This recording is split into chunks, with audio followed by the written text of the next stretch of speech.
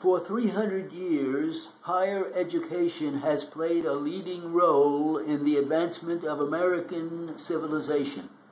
No country in history so early perceived the importance of that role, and none has derived such widespread benefits from it. Colleges moved westward with the frontier and carried with them the seeds of learning. When the university idea was transplanted from Europe, it spread across the nation with extraordinary speed. Today, our universities are the standard bearers of our whole system of education. They are the mainstays of the profession. They are the prime source of our competence in science and the arts. The names of their graduates crowd the honor rolls of two world wars and of the nation's peacetime affairs. By every test of war and peace, they have proved themselves indispensable instruments of cultural progress and national welfare. In the United States, there is a greater degree of equality of opportunity in higher education than anywhere else in the world. A larger proportion of the Americans study in universities and colleges than any other people. These universities have shown and continue to show greater responsiveness to the needs of our society than their European counterparts. They have equipped our people with the varied skills and sciences essential to the development of a pioneer country.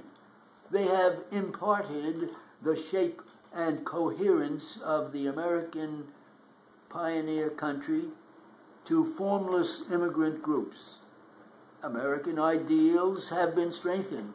The great cultural tradition of the West has been broadened and enriched by their teaching and example. Modern knowledge of ourselves and of our university has been nurtured in the universities. The scientific, technological, medical, and surgical advances of our time were born in them.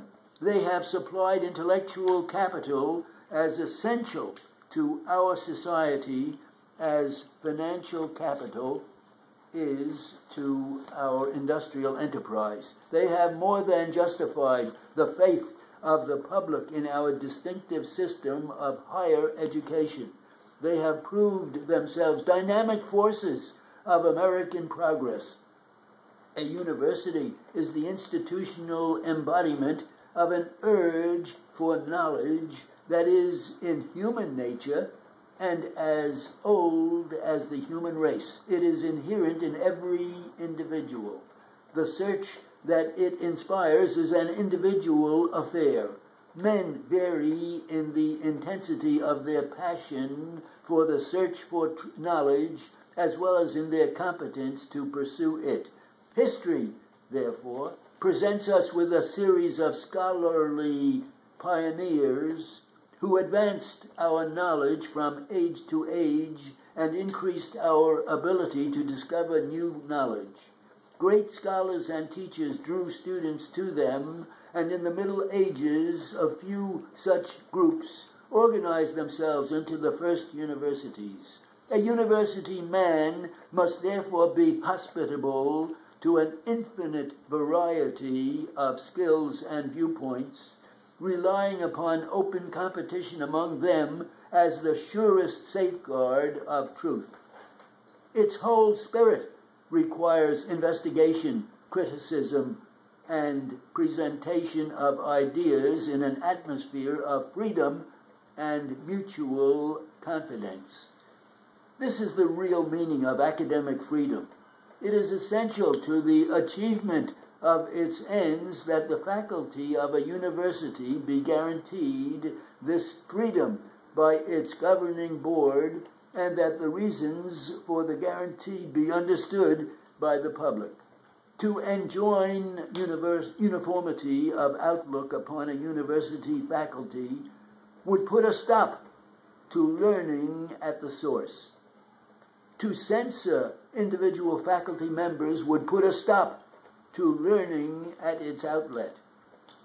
For these reasons, a university does not take an official position of its own, either on disputed questions or matters of public policy. It refrains from so doing not only in its own, but in the public interest to capitalize the search for knowledge for the benefit of society, to give the individuals pursuing the search the freest possible scope and the greatest possible encouragement in their efforts to preserve the learning of the past and advance learning in the present.